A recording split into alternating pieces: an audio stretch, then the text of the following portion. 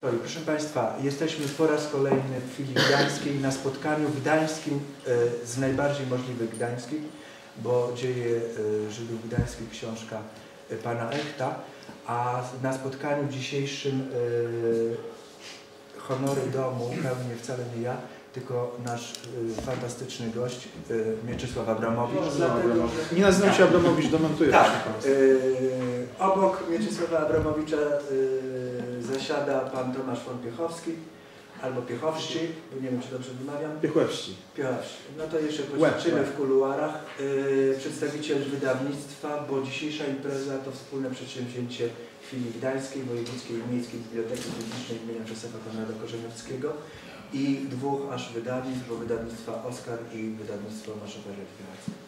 Dziękuję, że pomimo niesprzyjającej aury zechcieli Państwo dzisiaj tutaj z nami E, gościć. E, dzieje Żydów Gdańskich. Ja mam takie hasło, że wydamy wszystko oprócz Pana Jezusa.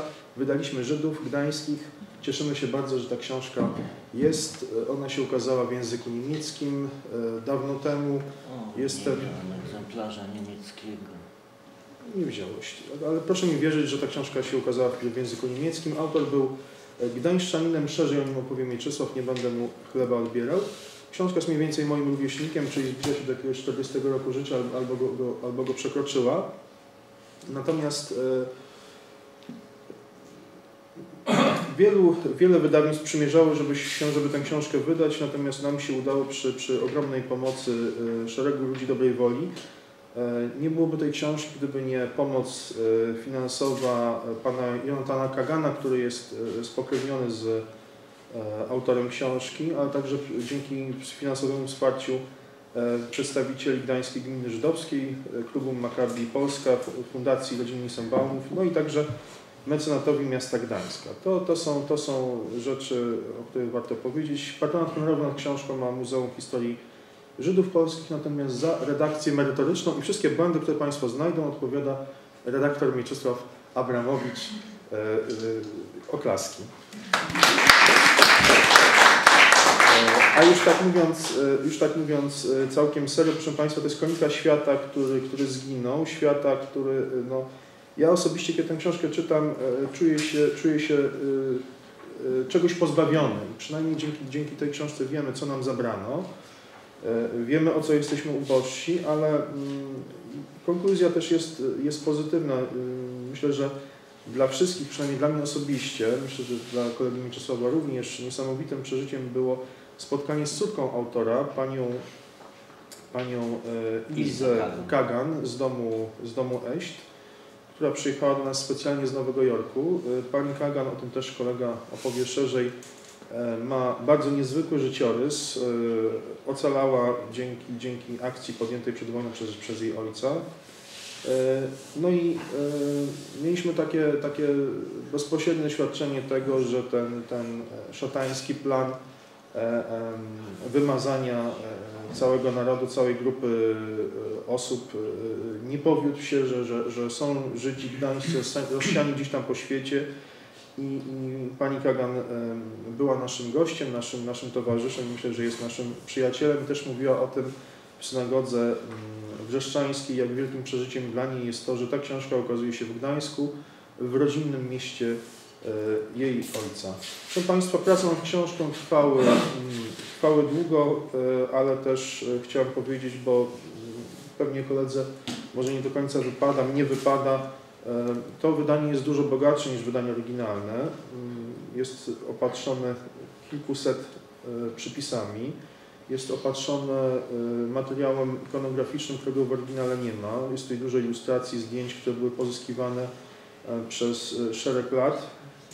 I tutaj wielki ukłon w stronę kolegi redaktora, że zechciał e, większość swoich zbiorów tutaj e, udostępnić, a także e, dzieło autorskie Mieczysława Abramowicza, czyli słownik terminów żydowskich załączony na końcu, który dla nie Żydów, albo wręcz dla Żydów, także, którzy nie mają tej wiedzy religijnej, jest takiego rodzaju no, bedekerem, który może E, e, wprowadzać w te zagadnienia związane z e, religią i kulturą żydowską. Książka została także zaopatrzona w indeks, który ułatwia mm, korzystanie z niej. Ja powiem jeszcze może rzecz, która taką ciekawostkę, która też dla mnie, jako historyka, jako, jako człowieka związanego z Pomorzem ma duże znaczenie. Rzecz symboliczna. Druga wojna światowa rozpoczęła się w Gdańsku, ale też można powiedzieć, że w pewien sposób Gdańszczanie mają swój udział w symbolicznym właśnie zakończeniu II wojny światowej. Mianowicie e, człowiek, który skazał w Izraelu Adolfa Eichmana na, na karę śmierci, sędzia e, Moshe Landau, był Gdańszczaninem. Także jeden z ojców założycieli Izraela, twórca izraelskiego prawodawstwa, osoba w Izraelu powszechnie znana, można powiedzieć nasz krajan e, też ma swój udział w tym, w tym symbolicznym e, osądzeniu zbrodni e, II wojny światowej. Tyle słowem wstępu. e, Oddaję głos e, i obraz e, naszemu przyjacielowi Mieczysławowi Abramowiczowi. W dwóch słowach opowiem o, o samym autorze, ale tylko w dwóch słowach, dlatego że e, taki trochę bogatszy jego e, biogram znajdziecie Państwo w książce. A potem, potem może dwa słowa powiemy sobie o tym, jak ta książka powstawała i ile, ile było z nią roboty. No a potem, jak będziecie chcieli o coś spytać, to będziemy do dyspozycji. Na samym początku muszę Cię Tomku e, jednak tutaj skorygować, ponieważ Tomasz powiedział, że, że e, Ilze Kagan z domu Echt e, była bardzo szczęśliwa, że książka jej ojca ukazała się w mieście rodzinnym tegoż. Otóż nie. Samuel Echt nie urodził się w Gdańsku, nie był gdańszczaninem, nawet nie pochodził z gdańskiej rodziny. Urodził się, no nie mam wskazówki, w każdym razie na półwy, Półwyspie Sambijskim, w, w, w takiej miejscowości, e, no nie będę pokazywał, chyba że wstanę i pokażę. Tutaj, w Norgał. Malutka miejscowość, e, w, prawie nieistniejącą, bo tylko tam kilkunastoosobową społecznością. Następnie e, w Królewcu e, podjął studia e, właśnie w tym Friedrichs Collegium. To było kolegium na, na poziomie powiedzmy szkoły wyższej, choć formalnie to nie była szkoła wyższa. To było takie studium e, nauczycielskie, bardzo znane w całych Niemczech i bardzo wielu wybitnych później mm, nauczycieli kończyło to e, studium. I po ukończeniu, e, po ukończeniu tego studium przyjechał do mm, Gdańska. E, Związał się już wtedy z rodziną Goldsteinów przez małżeństwo z córką kupca Goldsteina i zaczął pracować jako nauczyciel w szkole realnej e, świętego Piotra i Pawła. I stał się Gdańszczaninem. I stał się gdańszczaninem. E, jako młody człowiek związał się z, z takim stowarzyszeniem młodych imienia Gabriela Rissera. I to jest, ja specjalnie dałem ten obrazek i chcę dwa słowa powiedzieć o, o tym, ponieważ to jest dosyć ważne w kształtowaniu świadomości e, Samuela Echta. Gabriel Risser był wybitnym politykiem, publicystą, dziennikarzem, e, działaczem ruchu emancypacyjnego e, Żydów w Niemczech i e, stworzył dość, dość duży ruch, który dążył do, do nie tyle właśnie e, asymilacji Żydów niemieckich, ale, ale do bardzo ścisłego ich włączenia w, w cały ten krwiobieg niemiecki.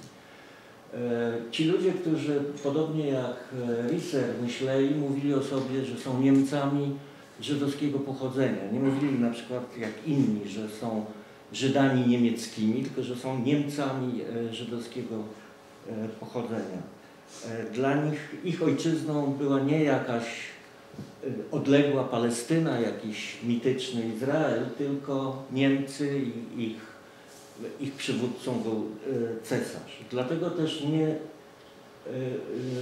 nic dziwnego w tym, że bardzo wielu młodych ludzi z tej organizacji, ale również i innych podobnych organizacji młodych Żydów w, momencie wybuchu wojny, I wojny światowej zgłosiło się na ochotnika do armii. Między innymi był, tam również Bernhard Kamnicer, z którym Samuel Echt od tych czasów przedwojennych był ściśle bardzo mocno związany nie tylko e, podobnymi zapatrywaniami pracą w różnych instytucjach żydowskich, ale również zwykłą taką męską przyjaźnią. Przyjaźnili się E, całe życie i byli, no, niezależnie od tego, jak dziwnie to zabrzmi, bardzo ze sobą blisko złączeni. I obaj, plus jeszcze kilkudziesięciu innych młodych Żydów e, zgłosili się do armii, walczyli na, e, na obu frontach. E, Samuel Echt pod Dyneburgiem został ranny, to oczywiście nie jest Samuel Echt, ale tak, żeby było Państwu przyjemniej, to taki obrazek, co się rusza. I jedziemy dalej. E, I y, po powrocie do Gdańska bardzo aktywnie włączył się w nie tylko życie nauczycielskie, był właścicielem bardzo wielu szkół y, i to, i to, co jest bardzo ważne, szkół senackich, a więc y, państwowych szkół, ale również szkół prywatnych żydowskich. E, działał w loży Borussia, bardzo ważnej organizacji, stowarzyszeniu takim charytatywnym, trochę na, działających na, na zasadzie loży masońskiej, ale to nie była loża masońska. E, a przede wszystkim natychmiast po, e, po zakończeniu wojny włączył się bardzo aktywnie i działał na tym polu przez cały okres międzywojenny pomoc dla uciekinierów żydowskich z terenów wschodnich. Ponieważ i przed frontem, który przesuwał się na zachód w czasie wojny i zaraz po wojnie w czasie wojny domowej w, Rosji, w czasie rewolucji jednej, drugiej, trzeciej, ile ich tam było.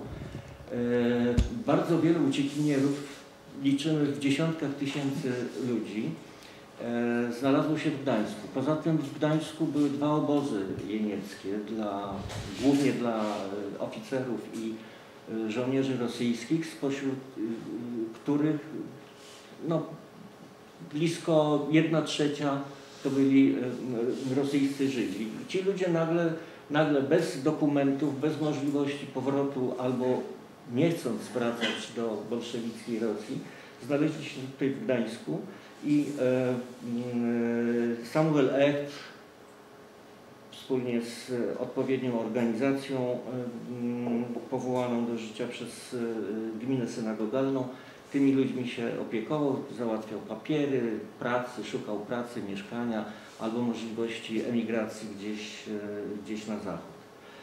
Ale przede wszystkim był nauczycielem. To jest ten pan w środku e, z wąsami.